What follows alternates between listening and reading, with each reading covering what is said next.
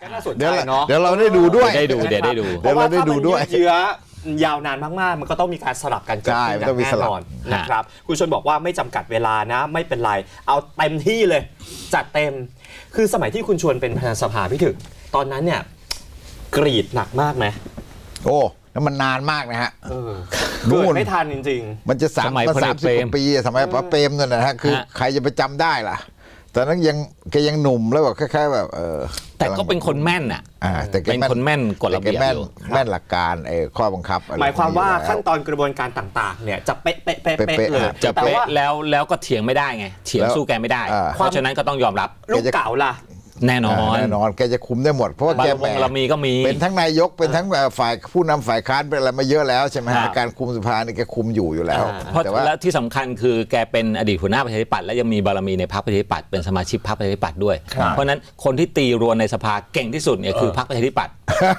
โอเคเพราะฉะนั้นกำราบได้แน่นอนกำราบได้แน่นอนเฮ้ยแต่ตอนนี้ไม่แน่นะโอ้ยระอาจดัจะบเป็นมือยองเก้าพลังประชารัฐอี้นะไกลสุดนี่ต้องเป็นประชาประธิท้วปังตย์อะไรเงี้ยประท้วงอะไรแบบเนี้ยครับเออเออประท้วงเนี่ยจะเยอะ เพียงแต่ว่าเอ่อพวกประท้วงพวกองครักษ์แบบประท้วงเนี่ยจะเยอะเออแต่ว่าประเภทแบบเออถ้ากวนอะไรหนังนี่คือแบบอันนั้นสู้ประชาธิปัตย์ไม่ได้แน่ อ่า นะฮะ ก็น่าจะสนุกฮะ ครับยังไงก็จะน่าจะสนุกเพราะว่าเราจะเห็นลีลาคนใหม่ครับ ถ้าเกิดการตีรวนเกิดการยกมือขึ้นประท้วง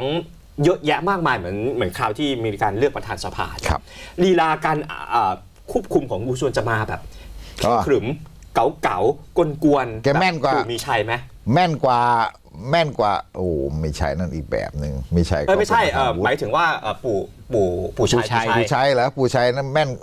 คุณชวนแม่นกว่าอ่าๆปู่ชัยนี่แม่นกว่าเยอะมาแบบอาวุโสเฉียบขาดใจกว่าเยอะดียิ้มเข้าไว้อ่าอะไรครัเงี้บยแต่ว่าคุณชวนนี่แกอาจจะมีวิธีรับมือได้มากกว่าเออหลากแกหลายแม่นกข้อว่า บังคับกว่า ครับนะฮะอะจับตานะ คุณชวนบทบาทคุณชวน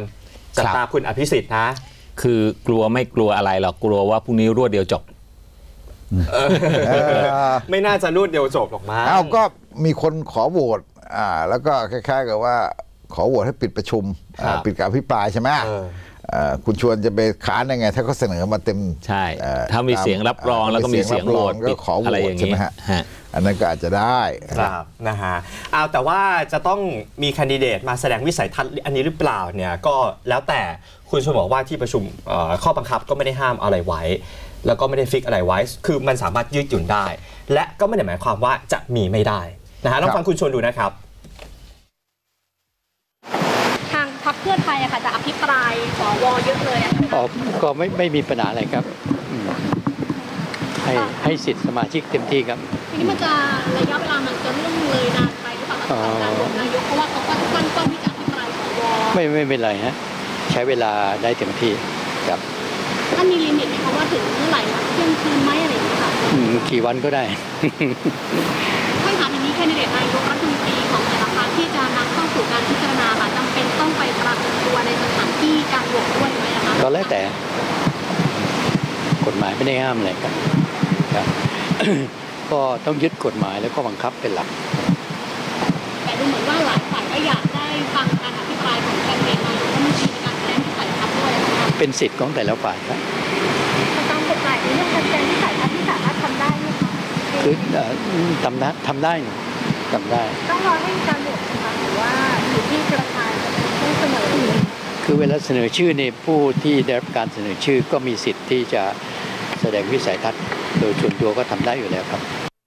ครับ เราอาจจะไม่ได้เห็นแคนดิเดตนายกรัฐมนตรีจากสองฝากเนี่ยนะครับ มาปรากฏตัวในสภาหรอกพรุ่งเนี้ยเอ้าเหรออ่า ทำไมอะ เพราะว่าเมื่อวานนี้นะแคนดิเดตฝั่งประชารัฐเขาไปแสดงตัวกับคุณชวนเรียบร้อยแล้วอ๋อเหรอ